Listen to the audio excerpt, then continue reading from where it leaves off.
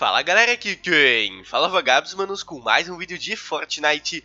E hoje, gurizada, vazou os desafios da semana 3 do passe de batalha dessa temporada 5 Lembrando que eles foram vazados hoje, porém serão somente lançados aí na quinta-feira dessa semana aí, dia 26, ok?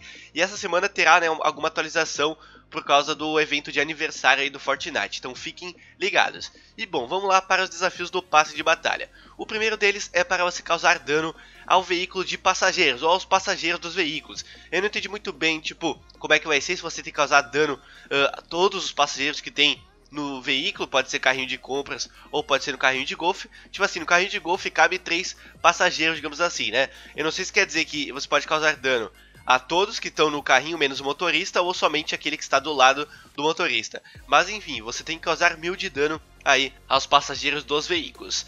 O outro desafio é para você destruir alvos específicos. Não se sabe quais alvos são esses ainda, provavelmente terá alguma atualização aí nessa semana que eles vão colocar alguma coisa no mapa, ok?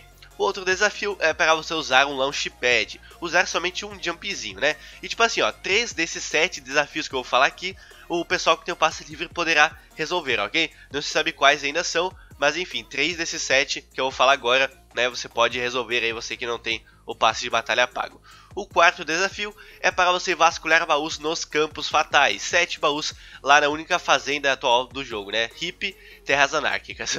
Outro desafio é para você seguir o mapa do tesouro encontrado na fábrica de descargas. Eu mostrei esse mapa aí na semana passada, achei que ia ser da semana 2, mas vai ser da semana 3. O mapa é esse aí que vocês estão vendo na tela e tipo assim, já dá pra saber onde é que fica a recompensa, né? Fica lá naquela montanha perto aí de Campos Fatais, onde tem uma casa em cima, onde tem um deckzinho, né? Tem um X bem ali no canto. Claro que quando os desafios forem realmente lançados no dia 26, eu vou fazer um vídeo né, dando dicas e mostrando também o local certinho desta recompensa.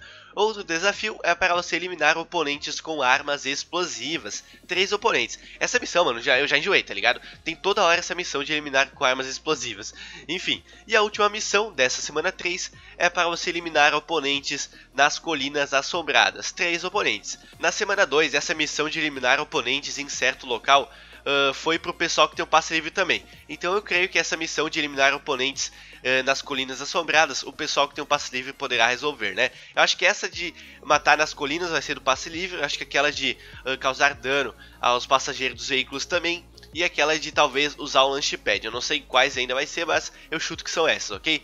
Mas enfim, esses foram 7 desafios vazados aí da semana 3 do passe de batalha dessa temporada 5. Eles serão somente lançados aí na quinta-feira, dia 26. E pode correr alguma mudança né, nesses desafios. Por isso que eu sempre faço um vídeo de dicas de como resolver os desafios no dia que eles realmente forem lançados. Porque às vezes eles acabam tirando algum desafio que foi vazado e colocam outro, ok? Mas então é isso, galera. Espero que vocês tenham gostado aí do vídeo, mano. Se você gostou, deixa seu like que não custa nada, me ajuda muito. E mande para aquele seu amigo aí que quer saber os desafios antecipadamente, beleza? Então é isso, galera. Aquele abraço. Se vemos no próximo vídeo. Valeu, falou e eu fui.